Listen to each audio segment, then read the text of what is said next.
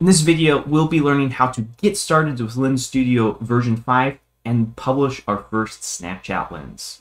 Alright, so the first thing you'll want to do if you haven't already is go to ar.snap.com slash lens studio and come over here and click download. Then here, um, you'll have to agree to the privacy policy and the uh, terms, usage agreement, etc. Uh, select your appropriate device and go ahead and click download and then install Lens Studio. Alright, so when you first open Lens Studio, you'll be greeted by this home screen. So here we can see the version we're on, 5.1, uh, and then up here in the title bar, you can see some more information about that. Um, here are some options for starting a new project. If you've created a project before, your recent projects will show up here. And then there's also this library of sample projects. Um, I encourage you to look through those, but for this video, we're going to come up here and we're going to choose the default project. All right, so here is the main screen, and we're going to have a brief walkthrough of what all these different panels are so that we have a shared vocabulary as we start creating the project. Right here in the middle is the scene panel, and once we start adding 3D objects to our scene, uh, we'll be able to see them here, and I can hold down the right mouse button and rotate, and I can use my mouse wheel to scroll in and out as well. To add objects to our scene panel, we come up here to the scene hierarchy panel, or you might also know as the objects panel if you're coming from Lens Studio 4. So these objects here are what are actually in our scene. Now down below that is the asset browser. If we want to add anything to our scene, this is where we'll do it. We can click on this button and we can scroll through. We have some different categories, different things we can add. Or if we have a custom 3D model or image, we can click import asset and find it and import it there. Next up, we have the inspector panel. If I select something over here in my scene hierarchy, now you can see some options showing up over here. So for example, I've selected the camera, and we can zoom in and we can take a look at these different options we have for our camera. And last area we're going to take a look at is the preview panel over here. So as we add objects to our scene, we will see them show up here as they will show up in our lens.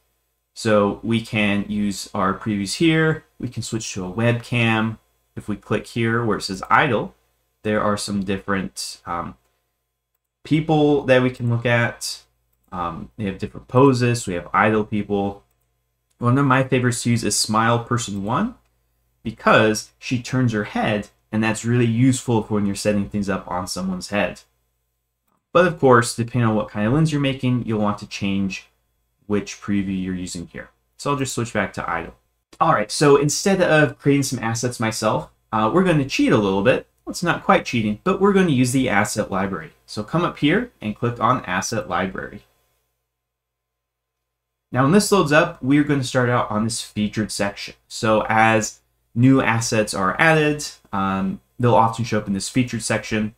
So you can um, take a look. Most of these are by Snap Inc. But as we scroll through, you can see that some assets are created by the community.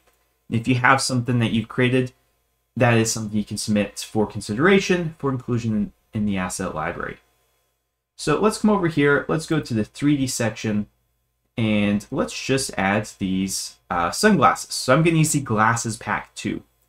If you don't see this here because more assets have been added, you can come up here and you can search for glasses, and then you should be able to see them here, and you can scroll through or view all to view everything that matches that search term.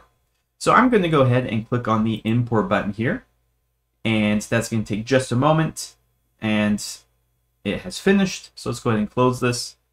Now if we come over here in our asset browser, we can see our glasses pack 2. And we can expand this up. And we can see a few different folders that have been created. So these are materials that come with the asset. Um, these are kind of locked off for editing because they're part of the asset. If we needed to change them, we could right click here and we should be able to come down to unpack for editing. But we don't need to do that today. So all we need to do is find this green prefab here. This is put under main camera. So let's go ahead and drag it up to our scene. And I'm going to ho hover this over my camera object and then release the mouse button. And now you can see first that we have a bunch of items over here in our scene. If we come to our little scene window here, we can rotate around, we can see those glasses. And lastly, in our preview, we can see the glasses are now on this person. So this yellow outline here is just kind of showing us that um, these objects are tracking a head. So right here, we can select head zero, and we can see that there's this head binding component here. So we zoom in, face index zero is the first face that's detected. Um, if we have multiple faces, we could duplicate this and then come back over here and change that face index to 1. This head binding means that anything underneath it will track the head. And we can see we have this head occluder. And so that is just this, you can see this blue thing here. And you can see that's just used to kind of block out the sunglasses as we come around the side of the head. If we select this mesh, you can see that there's this occluder material, which just means to hide things not to actually show up. So you can see a few different sunglasses here. I can toggle the, the visibility. So let's say we want sunglasses 2. Now we've added sunglasses 2 to our scene, and you can see that our preview panel has updated as well. All right, now before we go any further, one thing I recommend you do as soon as you start adding things to your scene is to come up here and do File, Save As, and save this project. Uh, Lens Studio sometimes will crash depending on what's going on, especially version 5 because it's a brand new rewrite and so they're still kind of working out some of the bugs. So just make sure that you are saving your project consistently and often so that you don't lose too much progress if it does crash. Uh, the stability is getting a lot better, but that is something that you should keep in mind. Uh, make sure you're saving your progress. All right, so now that we have a lens created, let's go ahead and prepare it to publish. So I'm going to come up here. I'm going to click on Project Settings. Now this is going to open up a new window here. Uh, the first thing we want to do is give our lens a name. Let's just call this sunglasses. Uh, there is a character limit. Uh, it's somewhere around like 20-ish characters, somewhere around there. So the name can't be too long, uh, but try to make it descriptive. Now, you probably won't want to change these platform settings. Um, mobile and web. This is like people using the Snapchat app. Web, you can host your lenses through the web. Um, and then Camera Kit is if you embed this in your own app. And then Spectacles, of course, are the AR glasses. Uh, so we're just going to leave this as is. Our lens size, we have a limit of 8 megabytes. You can see we're at 0.62, so we're all good there. Um, and then we don't need to worry about these API settings. Now, a few things we do need to take care of are the lens preview and the lens icon. And you can see here that there's these little notes to make sure that we get the name icon and preview. So for the lens preview, we can click this plus button and we have a few different options. Uh, we can upload a video without the lens. So if we have like a custom video, just like a person, and then Lens Studio will apply our lens to that video. Alternatively, maybe we've tested that, it out on our device and we've recorded the video, we can upload that video with the lens already applied. Otherwise, we can come through these different preview videos and it's applied the lens to all of these, and so we can choose one of them. So let's choose this idle one here. Now you can see we have our preview video here. Uh, if we don't like it, we can remove the preview and try again. Uh, and then we also need to add a thumbnail. So I'm going to close out here for a second. Uh, you can create a thumbnail image in like Photoshop or something. Or if you want a really quick and dirty way to do it, come down here at the bottom of the preview panel. And this button here will take a still image of what is currently in the scene. So if I were to click this, it'll open up a file browser. I can save that image. Uh, so I'll go ahead and do that. And then once you've clicked save here in this logger here, you can see that our screenshot was saved to a file. So now I can come back to my project settings and I can click this button here to select that image for my preview. All right, so as you can see, there's also this option, use AI to generate an icon. If your lens is a little more abstract, that might work great. But since I have this 3D model of the sunglasses, I'm gonna go ahead and import that screenshot that I took. All right, so I've selected that image and I can kind of drag this around. I can adjust this so we can zoom in if we want, so that we can really show those sunglasses there. And I will click Save Changes. Now we have our icon here. All right, so we we could publish our lens now, but before we do that, um, I'm going to show you a couple other things that you'll want to do as you're first setting up Lens Studio. So I'm going to close out of here and I'm going to come up here and we'll want to preview our lens on our device and we'll want to log into our Snapchat account and that'll make the publishing process just a little bit more streamlined. So I'll go ahead and click login here. I'll open up my web browser um, and then here I can sign into my Snapchat account. Uh, so go ahead and do that. All right, so once you've logged in, you'll be given the screen to connect to Lens Studio. And so it's just going to access your Snapchat account to submit lenses. Um, there's going to be some data that sends a snap uh, with some of the machine learning functionality, um, uh, just some things like that. It's fine to click continue. All right, so once we've successfully authenticated, we can come back to Lens Studio. And now you can see instead of that ghost icon, you can see my little Bitmoji icon here. That means I'm logged in, and if I click this button, it'll open up the My Lenses web portal where you can view and manage the lenses you've published. Now, the last thing we want to do uh, before you publish a lens, I always recommend testing it on your device. So if you've never opened up or used Lens Studio before, you'll have to pair your device. So I'm going to click this little drop down here, and I want to pair a new Snapchat account. I'm going to click that. This is going to give me a snap code. So now I'm going to open up the Snapchat app and scan this code. All right, so here I have the app, and I'm going to come over here. We got a snap code, so I'm going to open it. It's going to ask me to pair with Lens Studio. So I'll pair, popped up a couple times, and now you can see it saying sending lens. So now back on my device, I get this notification, and the lens will load, and now uh, I can try it out. So you can see on this person, it's applying it double. And if we switch to the back cam, you can see that I now have the lens on my face. And then this little area here, if you tap that little kind of bug icon, this is just some performance information about the lens.